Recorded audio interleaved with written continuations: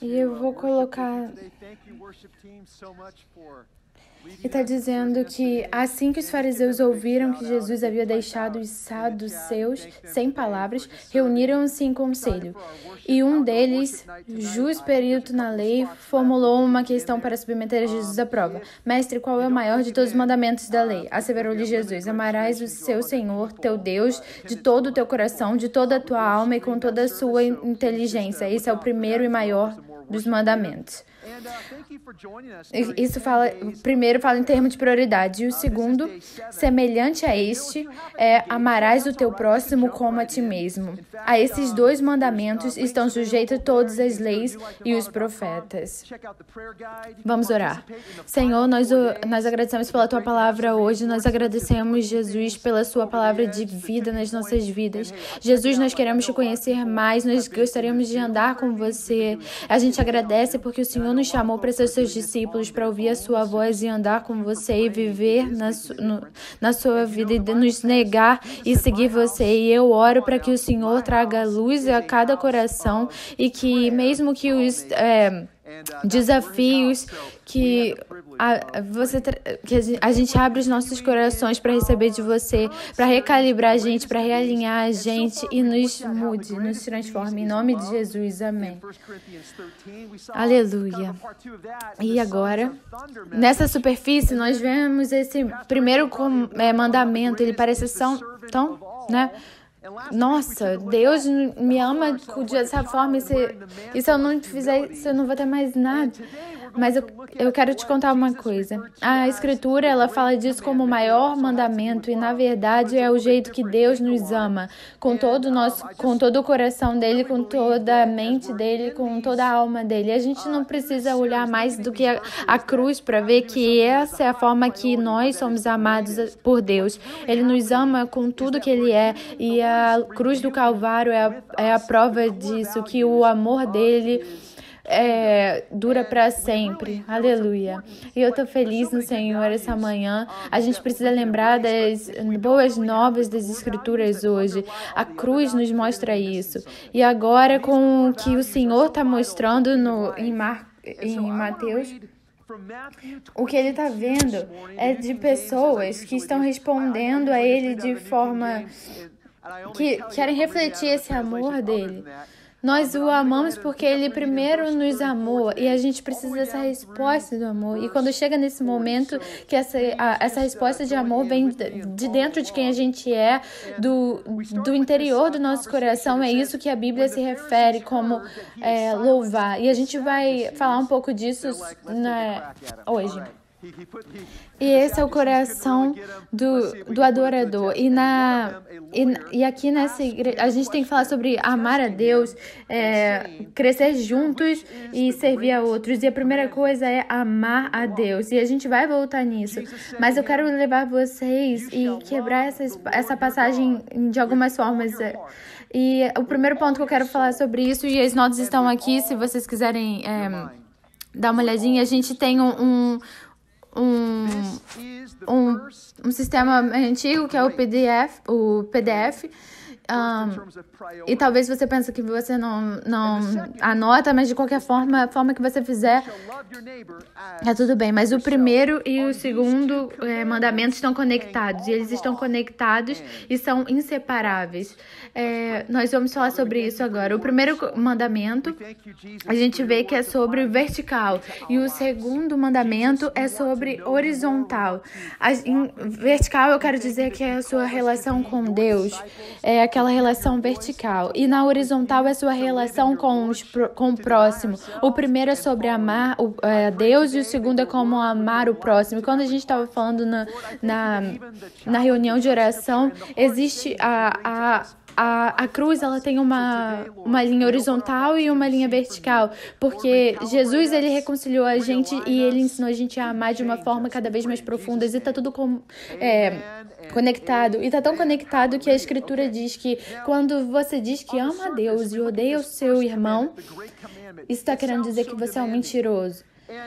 E é um tapa bem na cara, porque ele tá chamando a gente de mentirosa. A gente fala, ah, eu amo Deus, eu amo Deus com toda a minha vida, mas a gente odeia as pessoas. Ele tá dizendo que isso é uma mentira.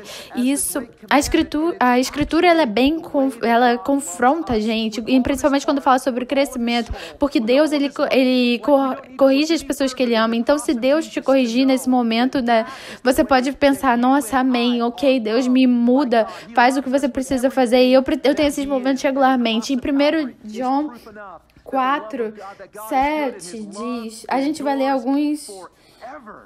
algumas partes. É, yeah, vamos falar agora. Amem uns aos tá, é, amados. Ele tá falando, ele começa com amados. E a gente vê que a gente é amado por ele. Então, amemos uns aos outros, pois o amor procede de Deus. E todo aquele que ama é nascido e conhece a Deus. Então essas palavras elas estão todas falando de ágape. Aquele que não ama não conhece a Deus. E presta atenção aqui, porque por quanto Deus é amor. Essa é a forma que a gente Aqui você pode escrever aqui no chat, Deus é amor.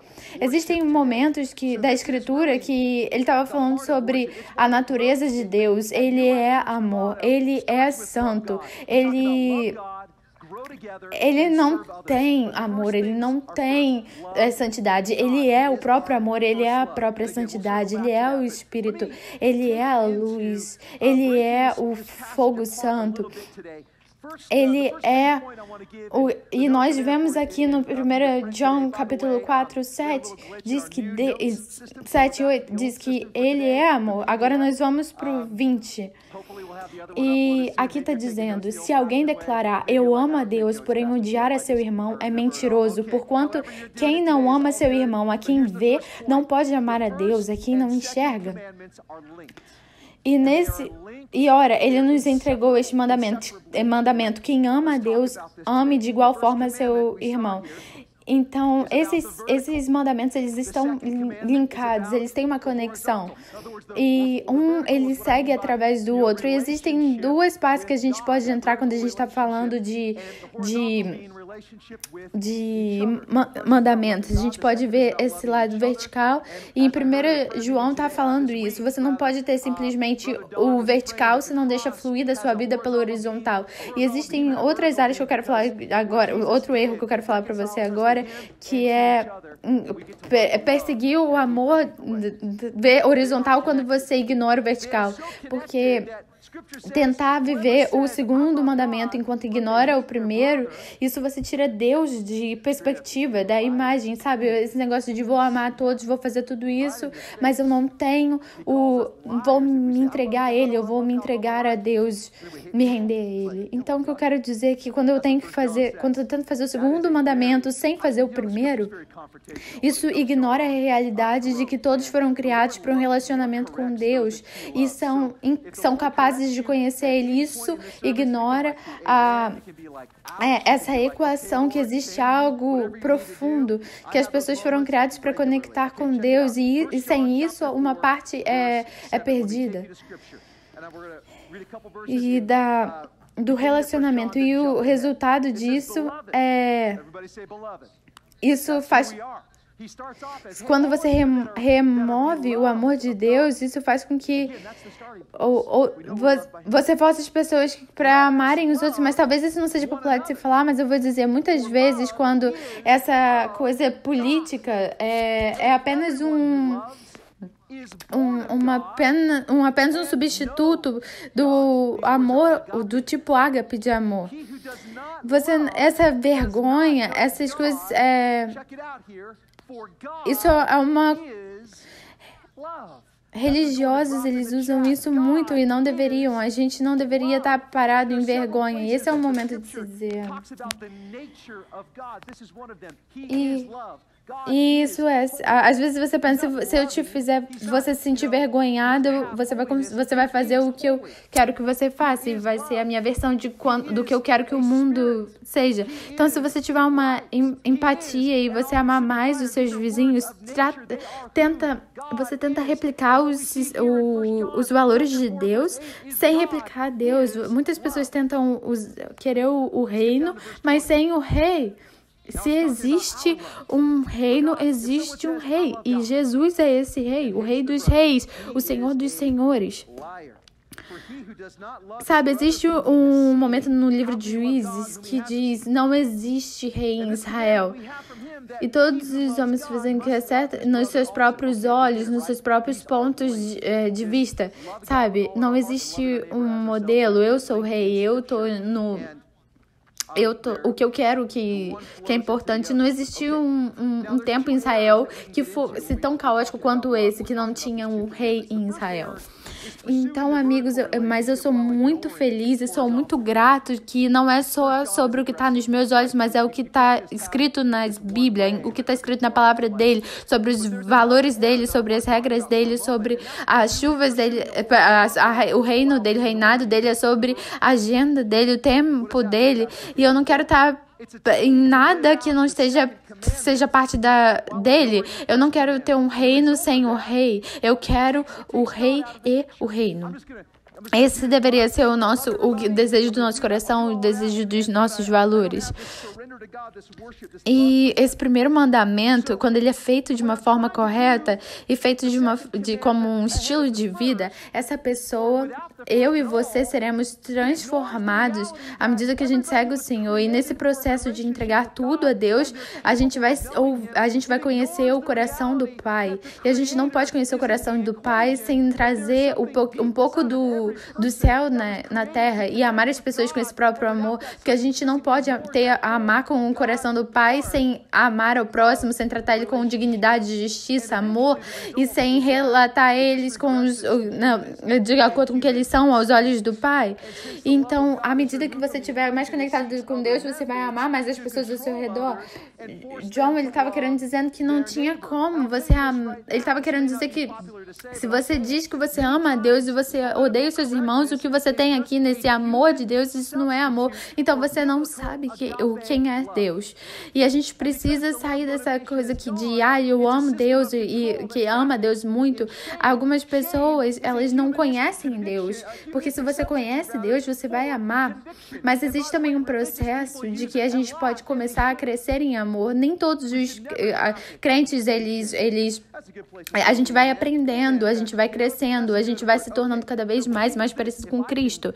E talvez o nosso amor esteja fraco, mas ele está ali. Talvez ele seja imaturo, mas ele está ali. A gente quer que está crescendo e, e movendo em amor.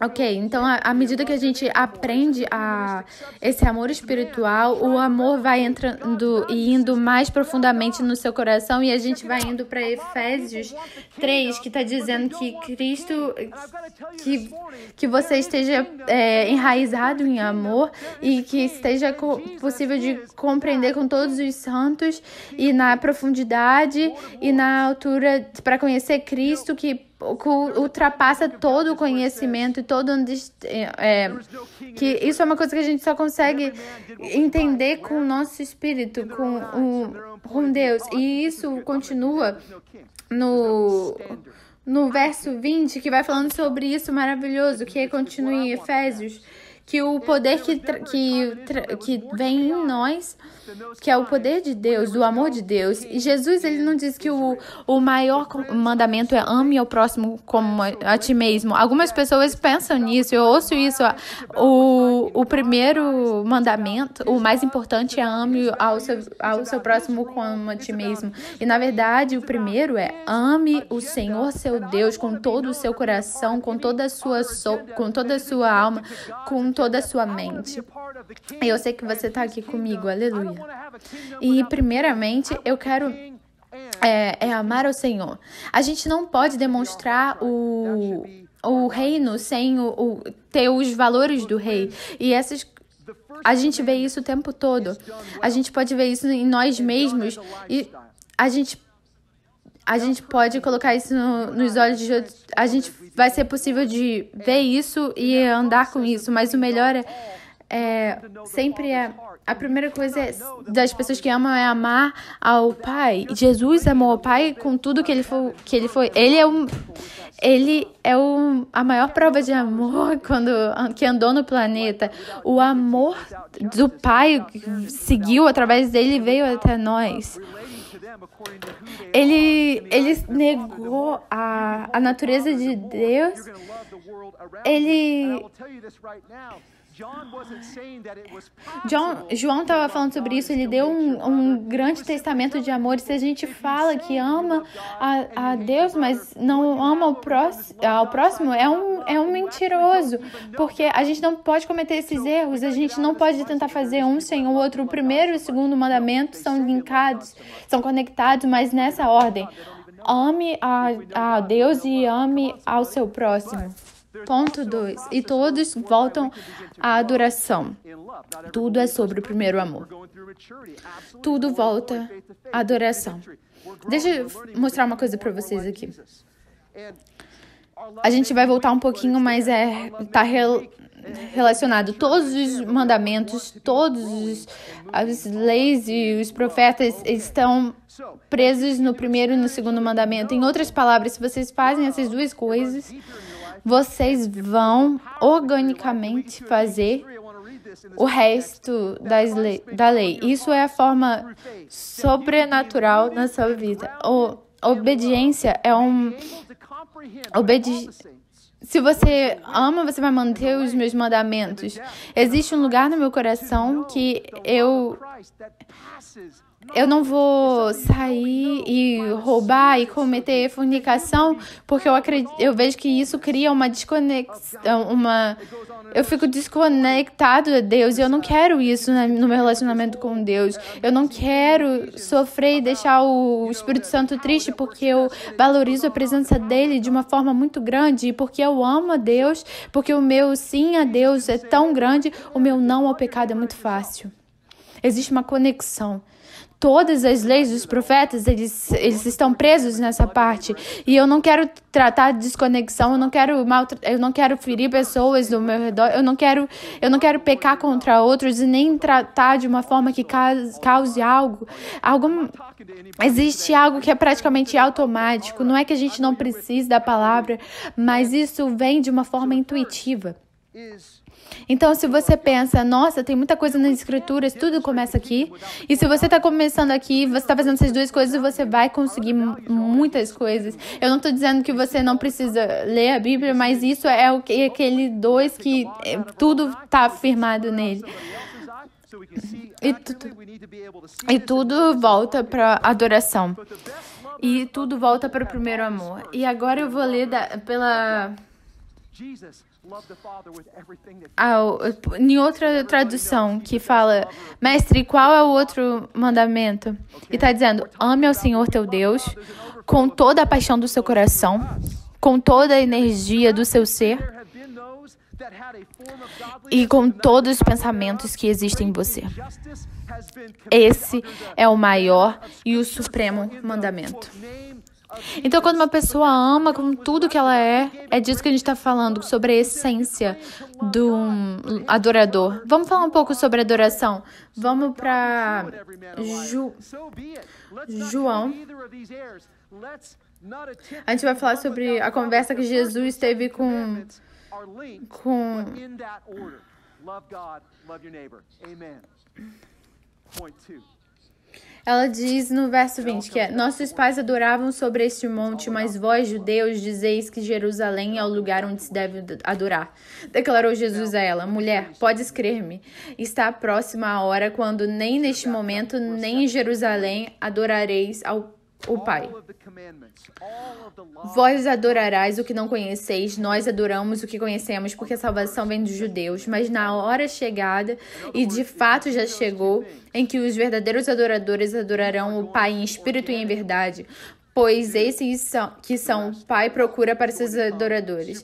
Deus é espírito, e é necessário que seus adoradores o adorem em espírito e em verdade.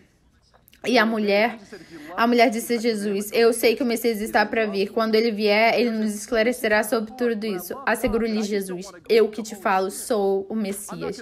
Então, nesse momento, ele está ensinando sobre o, a adoração. E é um momento incrível. Quando a gente está adorando aqui e a gente tá, começa a falar sobre esse, esse momento de adoração, eu quero fazer uns.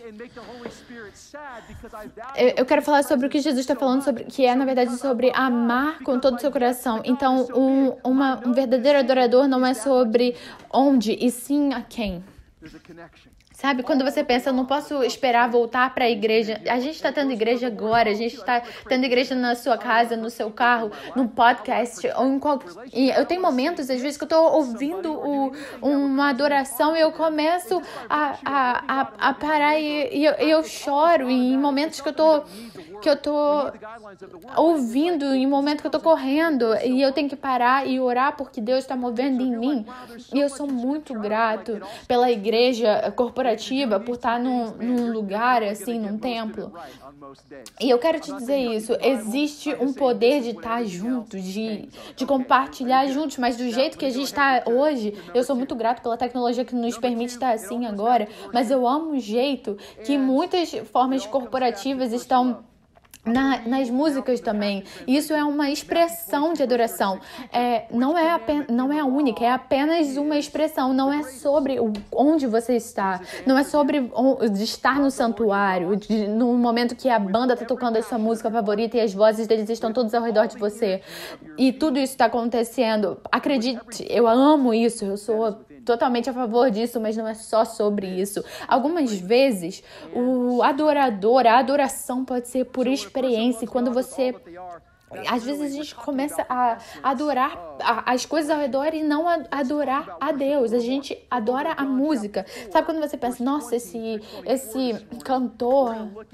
Ou a gente, eu não gosto dessas luzes hoje, eu não gosto dessas coisas assim. A gente está tão preso às experiências. Isso não é bom. Não é a forma que é. Isso Oh, é, isso é uma coisa que você precisa checar o que, que você está fazendo. Isso não é sobre, é sobre amar a Deus com todo o meu coração, com a mente, com as forças e adorar nas músicas. E a gente faz isso numa forma de reset na nossa mente. E isso não é só sobre uma experiência. Talvez eu esteja tendo um momento maravilhoso, talvez não esteja tendo uma experiência maravilhosa, porque eu estava dirigindo para a igreja, eu estou indo, em, eu tô em casa, ou porque as crianças estão deixando louca, ou por Sabe, todas essas coisas, as coisas estão loucas e caóticas e as crianças estão brigando e algumas coisas assim estão acontecendo. Talvez não seja o seu dia, talvez esteja num dia mal, mas quando você está nesse momento, você tem que dizer: não, não é sobre mim nesse momento, é sobre você, é te adorar. E por mais que eu esteja me sentindo mal, você ainda é digno de todo louvor.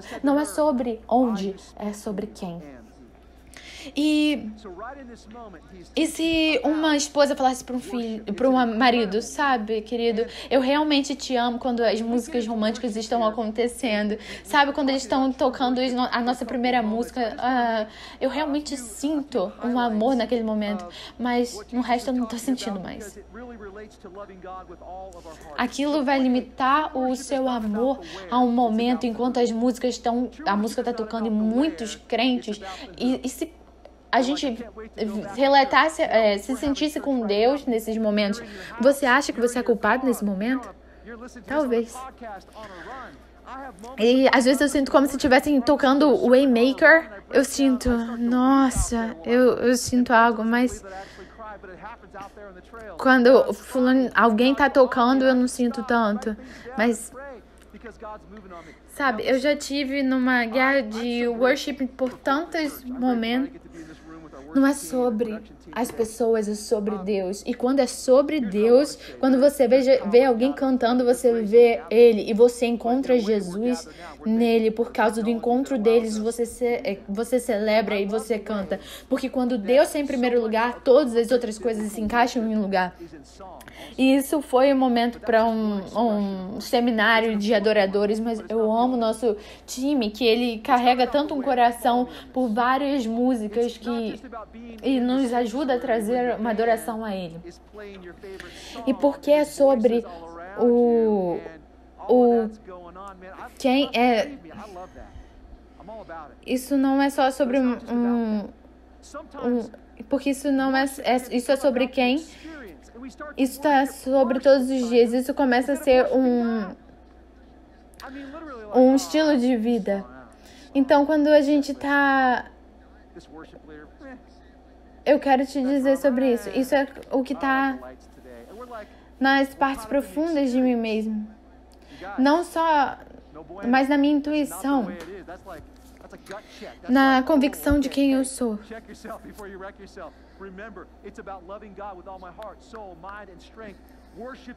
E a verdade é, sobre a realidade de quem ele é e fala sobre adora o Senhor no de acordo com o que ele é, não profundidade que ele é. Não somente hoje, mas para sempre. E quando sabe, os músicos eles podem cantar e podem eles podem ser expressados dessa forma, mas não é sobre isso. Eu sei que se às vezes você tá às vezes você está dizendo que você está vindo para a igreja, você está chamando a igreja um, um lugar. Mas eu realmente quero que a gente veja que é mais do que cantar.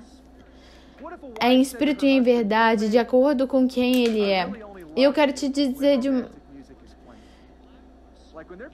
um, um adorador é aquele que, que coloca seu coração e, e oferece o coração a Deus continuamente. Sabe, de forma santa e aceitável a Deus no ato de adoração. E existe um, um se render nesse momento de se entregar a Deus. Isso é tão poderoso e maravilhoso de você poder adorar ao Senhor. De escolher, sabe? Eu quero te dizer uma coisa nesse momento. Nesse momento em que todos os joelhos se dobrarem, esse momento é de adoração. Quando você escolhe dizer: O Senhor é poderoso, eu reconheço o seu poder e o seu valor e eu tô te dando em tudo. Adorar é quando você escolhe adorar. Você pode forçar alguém a, a orar, mas você não pode forçar alguém a adorar, porque isso é dentro do que você é. Agora, eu espero que isso faça sentido. Não tem tempo para es explicar, mas Gênesis diz que Abraão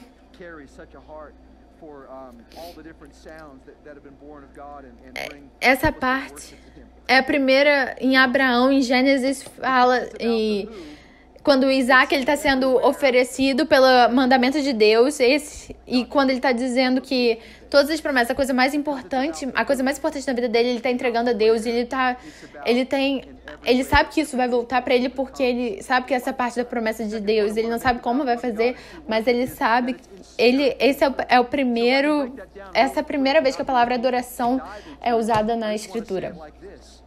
E isso mostra que é, essa adoração é algo mais forte que emoções. Isso é uma entrega, uma confiança, um entregar e apresentar tudo que, que você é.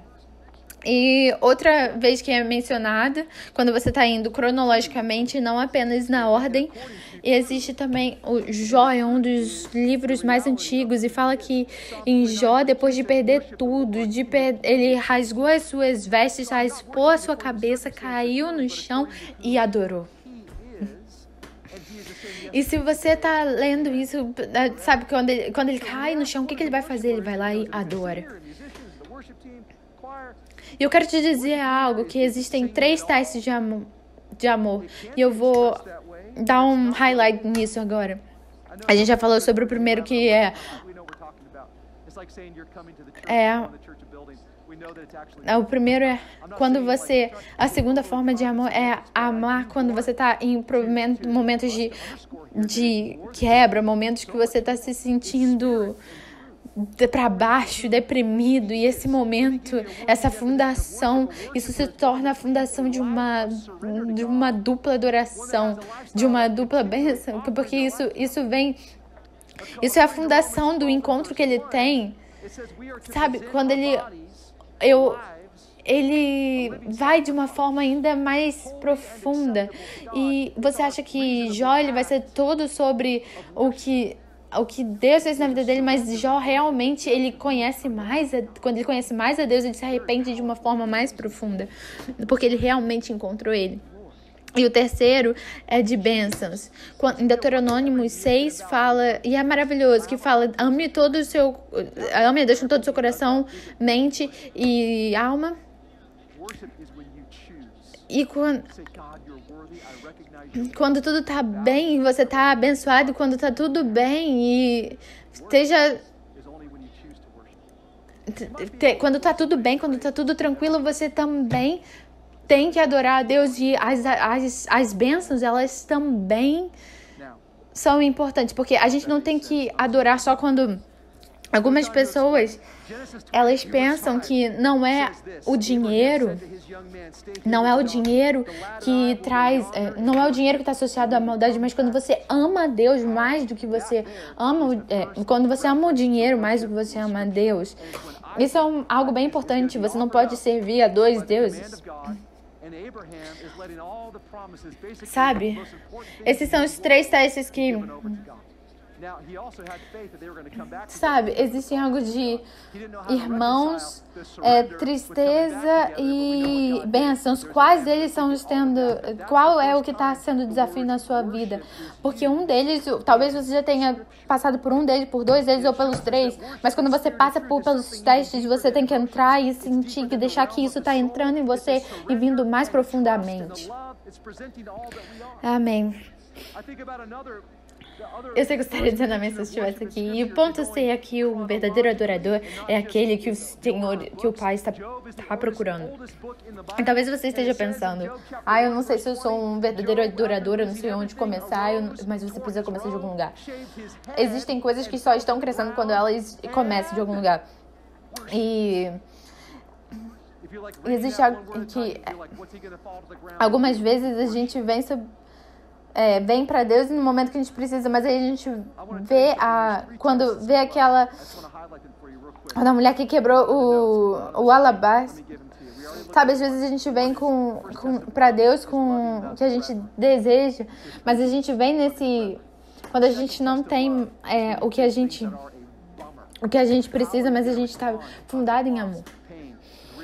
E eu acredito que a gente tem uma, uma oportunidade maravilhosa de entrar é, profundamente nessa estação. Então, a gente vai sair desse coronavírus. Eu acredito que Deus ele, ele quer que a gente venha de uma forma poderosa no, no Espírito Santo e quando a gente tiver, a gente vai a gente vai adorar nesse, nesse lugar de uma forma absurda, porque cada um de nós vamos ter entrado mais ainda no, numa adoração pessoal por essa estação. Quando a gente não tem todo, tudo que a gente precisa, às vezes, quando. Porque eu penso que as pessoas que que participam de esportes ou fazem alguma coisa Sabe, quando é, esse pessoal de beisebol, ele quando eles eles sentem a energia do, dos fãs que estão ali, agora não tem ninguém ali. Então, eles estão tendo eles eu não tô falando de adorar ao, ao jogo, mas eu tô querendo dizer, tô trazendo apenas uma comparação. A gente não tem essas coisas, mas é a gente, Deus, e a chance da gente ir mais profundamente do que a gente já foi. Eu quero chamar você em espírito e e eu quero chamar vocês para ir é, profundamente na minha, na minha vida e nessa estação como nunca fiz antes. E quando a gente voltar aqui, a gente vai saber que que a gente, porque a gente vai estar tão profundo. Então, ame a Deus com todo o seu coração, mente e, e alma. Sabe?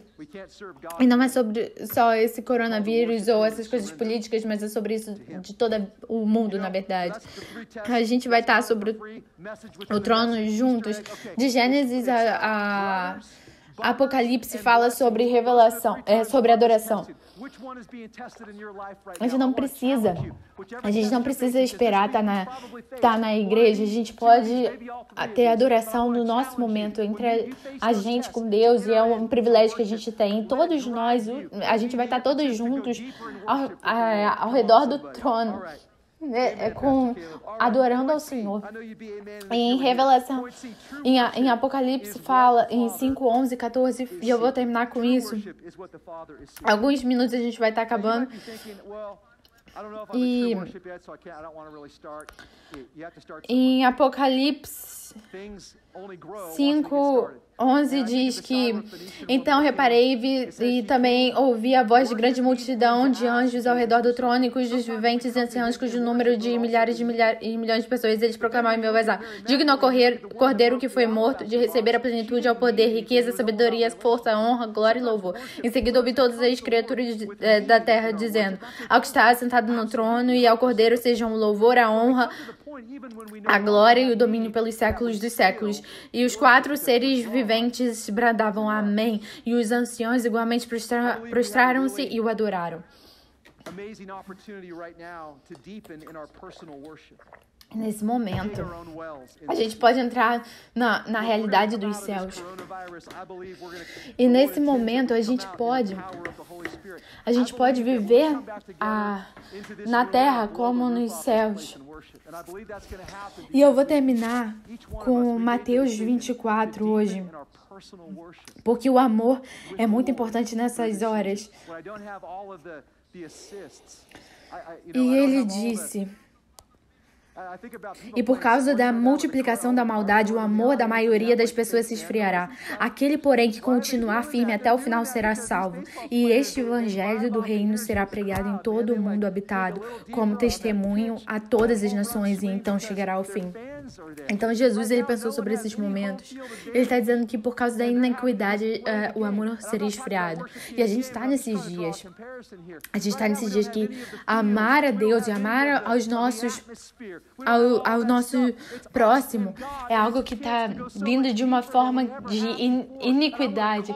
E a gente está tentando Está tentando, tentando esfriar o amor, mas amar a Deus mantém as nossas fés vivas e amar a Deus traz algo de, de partilhar com Deus nesses momentos difíceis. A gente não escolheu o tempo, a gente não escolheu o tempo que a gente nasceria, mas Deus nos colocou nessa geração. E a gente não poderia estar em um. Em um é, a gente não poderia ser aqueles que. A gente não poderia ser um cristão sem esse momento de adoração e de orar, mas é simplesmente de amar a Deus, é, amar o teu Deus com todo o seu coração mente e alma. Esse é o primeiro e maior de todos os mandamentos. Então vamos permitir que a nossa vida esteja alinhada. Vamos relembrar de Romanos 12, de pegar toda a vida como a, a, a, nossa vida cotidiana, vamos entregar tudo a Ele.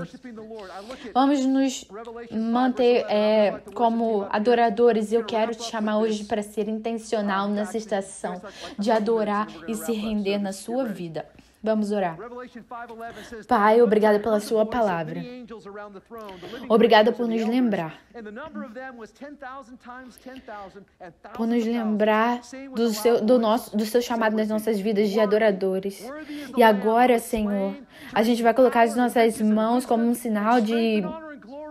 de surrender, que a gente quer tirar esse momento de deixar o nosso sim o nosso sim para você, o nosso sim para o amor, o nosso sim para amar todo o nosso coração. E a, eu oro porque para que o Senhor coloque o seu amor em cada um dos nossos corações, para cada pessoa que esteja ouvindo essa mensagem hoje. Que cada um de nós sejamos os adoradores que o Senhor está à procura. A gente sente a sua presença. A gente sente a sua unção hoje. E a gente diz sim a esse chamado. A gente te agradece, Senhor, em nome de Jesus. E a gente vai ter um louvor por um tempo. Vamos deixar esse louvor ser a nossa resposta hoje. Vamos adorar juntos. And this gospel of the kingdom will be preached in all the world as a witness to all nations, and then the end will come. Jesus taught about these days. He said that the love, because iniquity abounds, love will get cold. We're in those days. Loving God and loving our neighbor wars against the spirit of this age. It is literally moving in the opposite spirit in a time where iniquity and lawlessness are trying to get love to cool off and become cold and all that kind of stuff.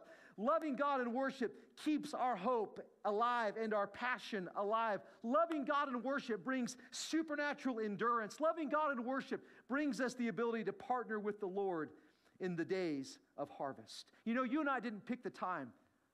We didn't choose the time we'd be alive. God placed us in this generation. And we can't really be in time believers. We can't be the ones we're called to be without a lifestyle of worship and prayer. And that, at its essence, is simply to love the Lord your God with all your heart, all your soul, and with all your mind. This is the first and great commandment. So let's allow our lives to be aligned with this core value. Let's remember Romans 12 to take our lives, all that we are, our ordinary life, sleeping, eating, going to work, walking around life. Let's give it all to Him. Let's commit to being worshipers that God is seeking. I want to call you today to be intentional in this season about worship and surrender in your life. Let's pray. Father, thank you for your word. Thank you for the reminder the reminder of your call on our lives to worship. And Lord, right now, let's just put our hands out in, in, in, like as a sign of surrender right now. Right now, Lord, in this moment, we just want to take this time to let our yes, our yes to you, our yes to love, our yes to loving you with all of our heart, soul, mind, and strength be established again. I pray that you would strengthen the yes in every one of our hearts. I pray, Lord, that each one that is hearing this message today, Lord, that each of us would become and be the worshipers that you are seeking. We feel your presence. We sense your anointing on this today. And we say yes to this call. We thank you for it, Lord. In Jesus' name. We're going to just have the team lead us for another couple of moments. Stay with us. We'll wrap up in just a minute, but let's let this song be res- our response today uh, to the Lord. Let's worship together.